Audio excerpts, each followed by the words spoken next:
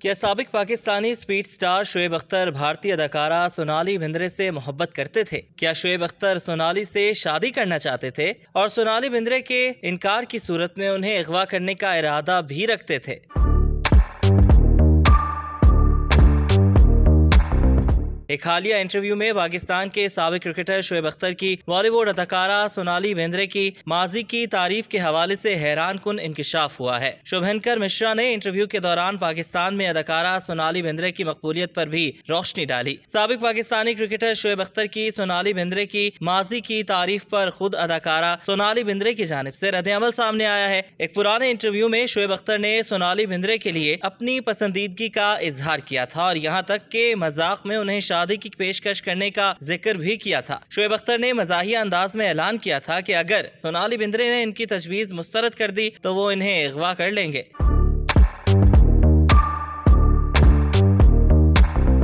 Pakistani cricket legend के इस चंचल बयान ने भारतीय शायकीन की तवज्जो अपनी जानब खींच ली थी। शोभनकर मिश्रा के पॉडकास्ट की एक हालिया किस्त में उन्होंने सोनाली बिंद्रे की तवज्जो, शुएब अख्तर की जानब दिलवाई तो अदाकारा ने उनके अल्फाज और शुएब अख्तर की तजवीज का जवाब देते हुए इसकी हकीकत के बारे में बेयकीनी का इजहार किया। सोनाली बिंद्रे ने कहा कि वो नहीं जानती कि शुएब अख्तर की मुझसे शादी और अगवा वाली बात में कितना सच है, क्योंकि उस जमाने में भी जाली खबरें हुआ करती थी। लेकिन याद रहे कि पाकिस्तानी स्पीड स्टार शुएब अख्तर पहले भी वाज अंदाज में इस बात की तरदीद कर चुके हैं कि वो कभी सोनाली बिंद्रे से नहीं मिले और ना ही उनके मद्दा हैं।